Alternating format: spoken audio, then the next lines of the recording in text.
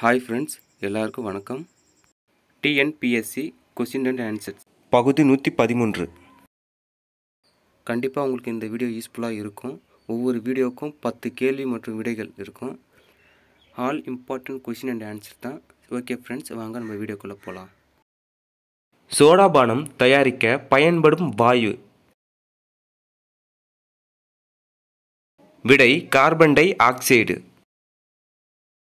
Car என்ஜினில் கார்பரேட்டரின் பணி. விடை காற்றுடன் பெட்ரோலை கலப்பது.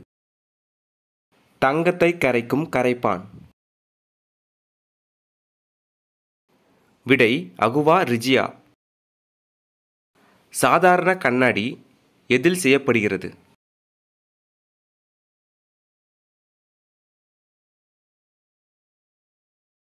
விடை சோடியம் சிலிக்கேட்.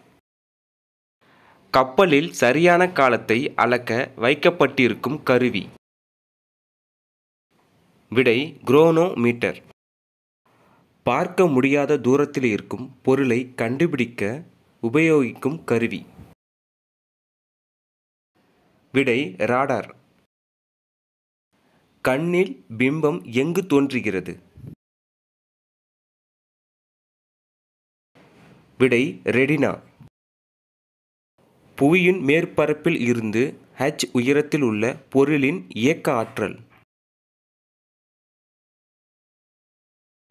விடை சுழியாகும். குறைகடத்தி எதற்கு ஓர் உதாரணம்? விடை ஜெர்மானியம்.